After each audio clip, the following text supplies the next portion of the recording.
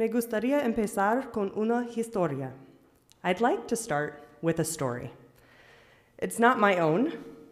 It comes from Howard Thurman, an African American activist, philosopher, civil rights leader, and theologian who lived from 1899 to 1991.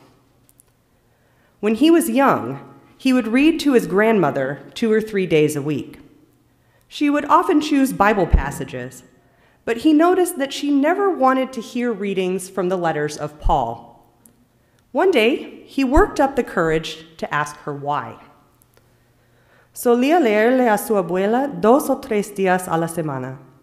Ella generalmente elegía pasajes bíblicos, pero Howard se dio cuenta que ella nunca quiso que la leyera de las cartas de Pablo.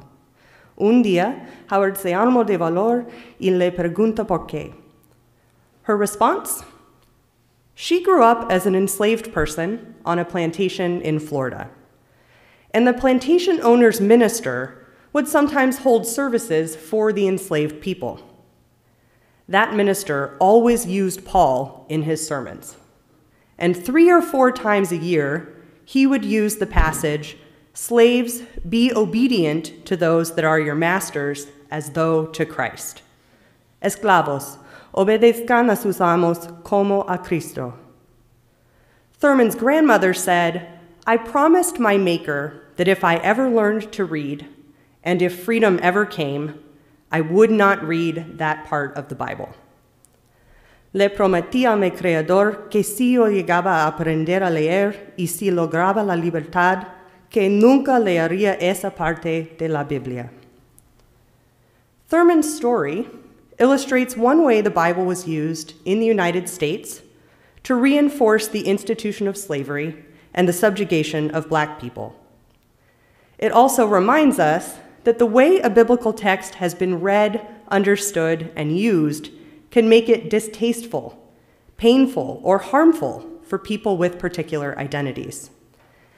Esto también nos recuerda que la manera en la que un texto bíblico se ha leído, entendido y usado lo puede llegar a tornar en algo desagradable, doloroso y peligroso para personas de ciertas identidades.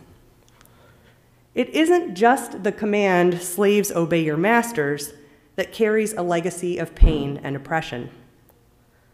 Paul wrote a very short letter to Philemon, a fellow Christ believer. And if you open your Bibles to the letter to Philemon, you might want to have a look at that passage in your discussion. In it, he describes how Onesimus, who was enslaved in Philemon's household, has come to Paul and has become a Christian. We don't know the full background story. Perhaps Philemon mistreated Onesimus and Onesimus ran away. Perhaps Onesimus fled because he feared punishment for something that happened. Maybe Onesimus just sought freedom from slavery. In any event, he made his way to Paul, and Paul intercedes on his behalf. Paul sends Onesimus back with a letter and tells Philemon Perhaps this is the reason he was separated from you for a while, so that you might have him back forever, no longer as a slave, but more than a slave, a beloved brother. Especially to me, but how much more to you, both in the flesh and in the Lord. Sounds good, right? Some abolitionists thought so and used this letter as proof that Paul's writings teach Christians to put an end to slavery.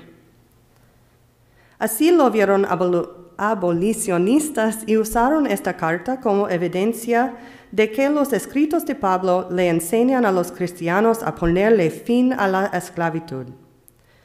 But other readers instead focused on the fact that Paul sent Onesimus back, and the passage was used to argue that the biblical author Paul would support the Fugitive Slave Act of 1850, which legally required people to send runaway enslaved people back to their masters.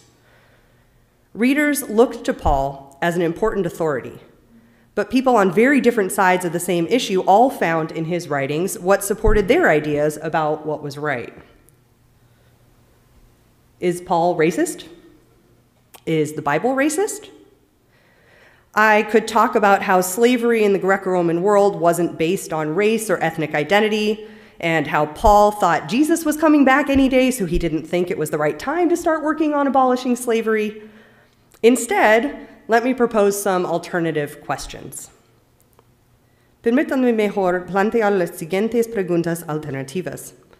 How do readers and interpreters of the Bible use texts like Paul's letters to shape the world we live in? ¿Cómo es que lectores e intérpretes bíblicos usan textos como las cartas de Pablo para formar el mundo en, que, en el que vivimos? How does the world we live in shape the way each of us finds connection, condemnation, hope, pain in biblical writings like the letters of Paul? ¿Cómo es que el mundo en que vivimos forma la manera en que experimentamos la conexión, la condena, la esperanza y el dolor en las escrituras bíblicas como las cartas de Pablo? So, those are the questions I'll leave you with for your discussion. What are Bible stories and teachings that you feel have shaped the world you live in?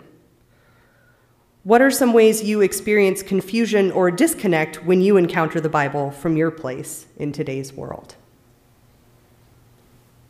Go for it.